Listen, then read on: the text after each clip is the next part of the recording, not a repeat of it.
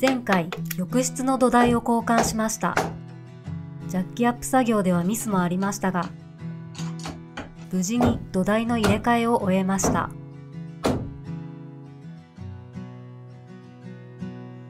新しく入れた浴室の土台と基礎をつなげるアンカーボルトを入れていきます。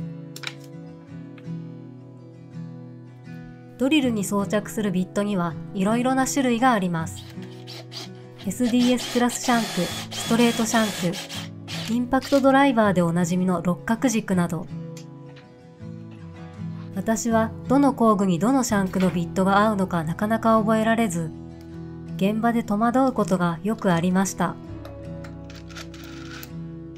ドリルチャックという変換アダプターも加わると、もうパニックでした。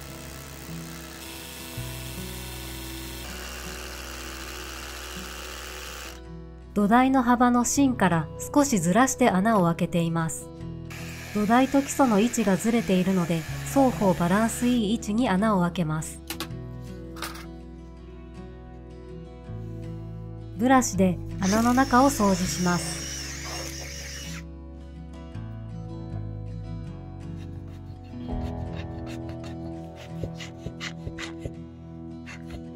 届かないね。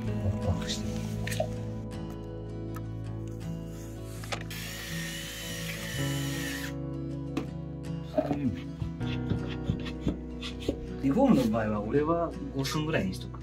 金物とかつけるとしても、うん、アンカーボルトの位置は柱の芯から 200mm 以内の場所が良いとされています。ですが最近は保存穴の近くに金物を多用し土台の欠損が多いため許容範囲内でなるべく柱から離れた位置にアンカーを入れたくなります。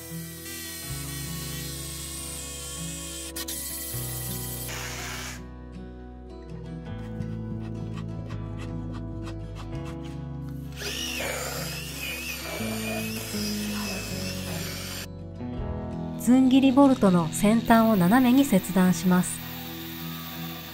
ずん切りボルトとは頭がないネジです。使う時にならないと長さが決まらない場合や頭があると都合が悪い時などに使われます。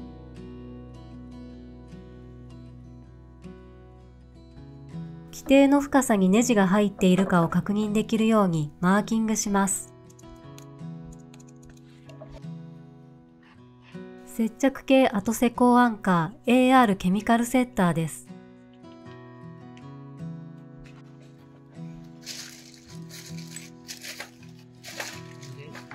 60にしようかな。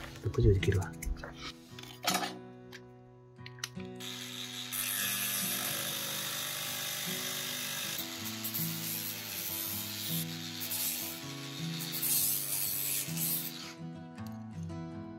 ナットを二重にし、お互いを締め付け合うように固定します。ダブルナットで一緒に回っちゃうの？一緒に回っちゃう。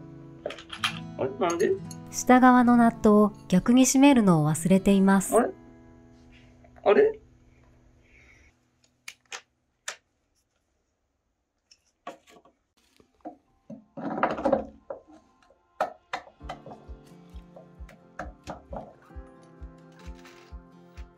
攪拌することで先ほど入れた接着剤が化学反応を起こし、全ネジボルトを基礎に固着させます。浴室の朽ち果てた土台を交換する工事は何度も見てきました。雨漏りしかり、水が漏れない作りにすることが家づくりで一番大切だなと実感します。ボルトはナットから溝が3山以上出ていればよく、長い分には切らなくても良いのですが、つまずくと嫌なので切っておきます。よく怖くないね。フリースなど燃えやすい衣類を着て火花が出る作業をすると大変危険です。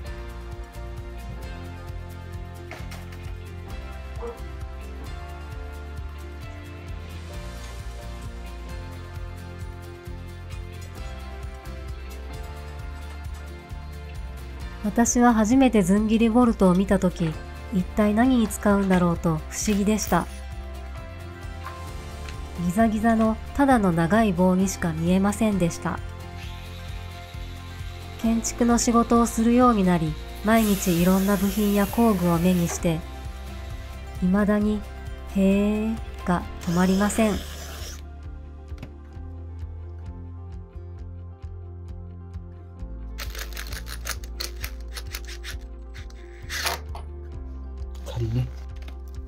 接着剤が固まってから本締めします。さて次は玄関ホールの床を壊します。最初に壊さなかった理由は、施主様が2階をリフォーム中だからです。資材の搬入等が落ち着いたので、今回壊させてもらいます。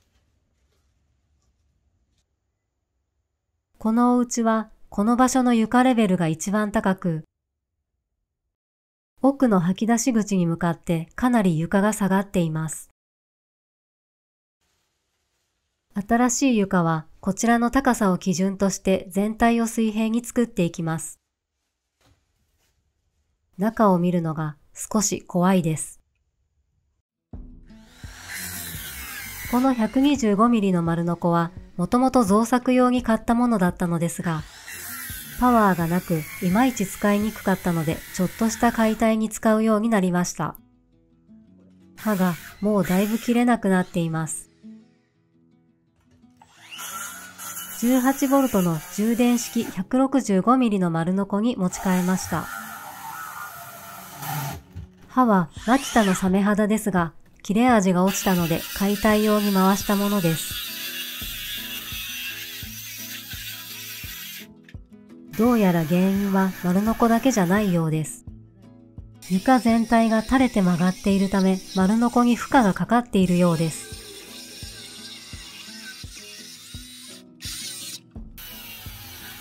それにしても刃の切れ味が落ちているとはいえ 18V はパワー不足が否めません。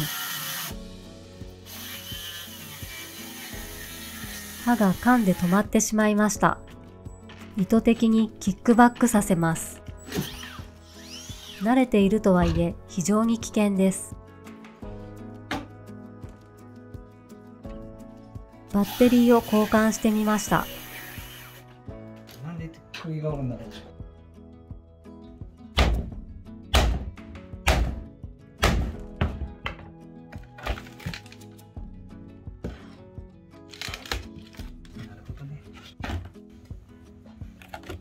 るから、これ歯届いてないってことか。ここまで解体は施主様がやってくれていたので床が二重とは気づきませんでした。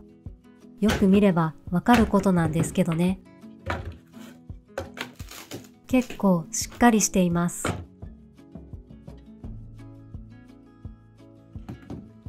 ボンドがしっかりついていて手強いです。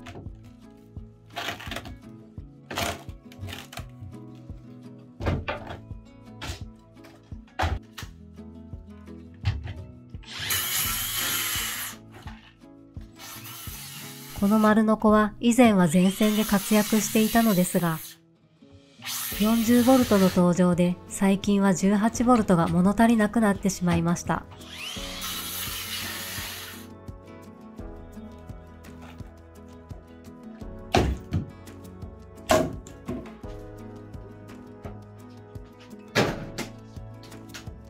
自分の作業に納得がいかないカズさん。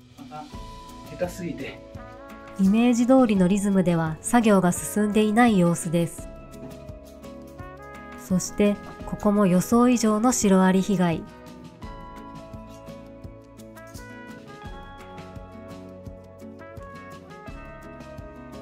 良い方法を考えます。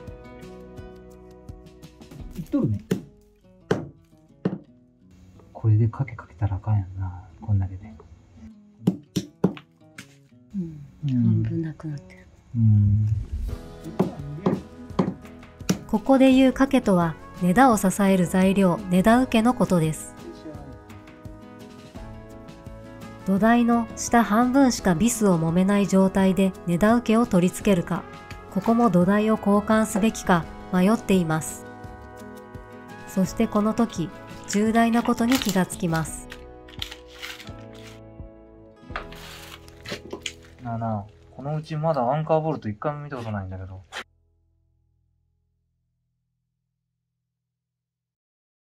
本もアンカーボルト入ってない。ネジ閉めてない。穴開けただけ。土台をこう置いただけっていうだけ。なんか、間違えたんだろうね。これ、アンカー。アンカーは短かったの。ボルトの立ち上げが。ザボリしたけど、ザボリしてももうどうしようもないぐらい短い。だからこれ締めようと思ったらもう、ここ、こんくらいまで掘らなあかんね。うん、全部。だから一本もアンカー止めてない。ただ鉄筋が刺さってるだけっていうかろうじて飛び出ているところもありますが、ナットで締めてから溝3山分出ていないといけないので短すぎます。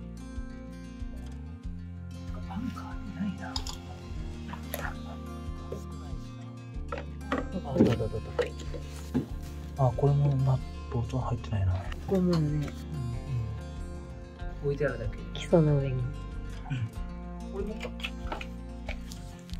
たくさん穴が開いています。すべて基礎と土台がつながっていません。お客さんに言うのが辛い。全部止める？見てたもんもうザブリして。うん。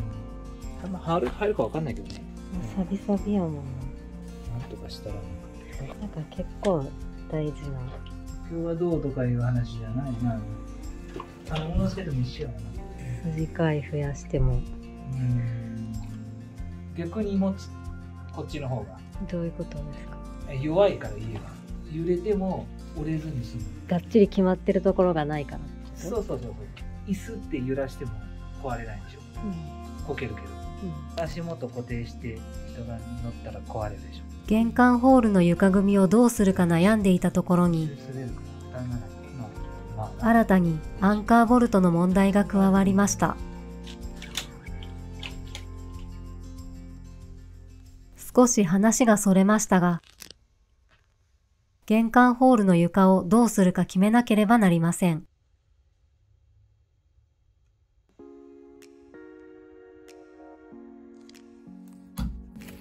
こちらのトイレは今回私たちはリフォームしません。新しい床はトイレと段差なく仕上げます。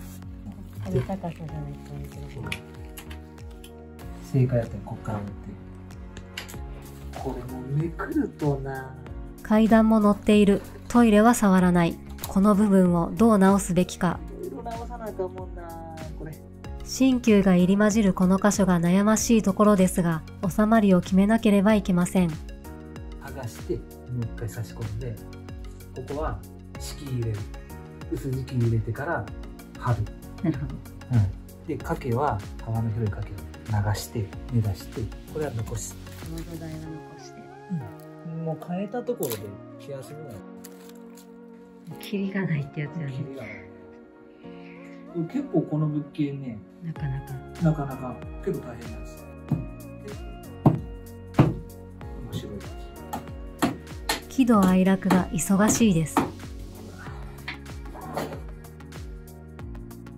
途中で問題が出てくることはリフォームではよくあることです。一つ一つ解決していきます。少し出てるアンカーボルトを締めることができるのか試してみます。座金とナットを取り付けられるように座彫りをします。ちなみに今はスクリューワッシャーといってボルトが土台から飛び出さないようにスライチに仕上がる座金一体式のナットが主流です。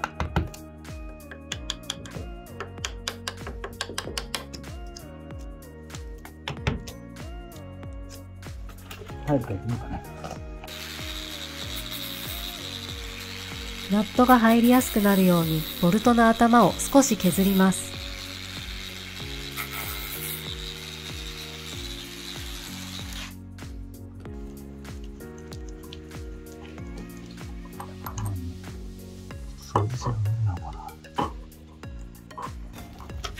この汚れを取る方法ってあるかなこの汚れ汚れというよりは錆が進行して膨張しているように見えます。住宅の基礎と土台を緊結するアンカーボルトは M12 という規格のものを使います。サイズが合ってないことないよね。ですが、これは昔よく使われていたウィット2分の1通称4分ネジというボルトのようです。M12 と大きさも見た目も同じですが、ネジ山のピッチが違います。4分ネジのナットを買いに行くことにします。果たしてうまくいくのでしょうか次々と問題は出てきますが、立ち止まる時間はありません。臨機応変かつしっかり工事していきます。257、170。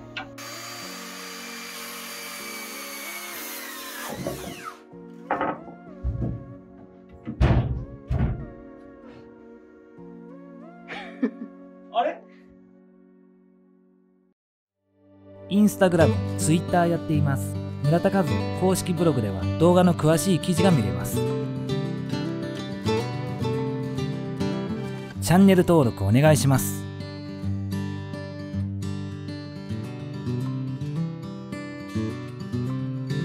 ご視聴ありがとうございました。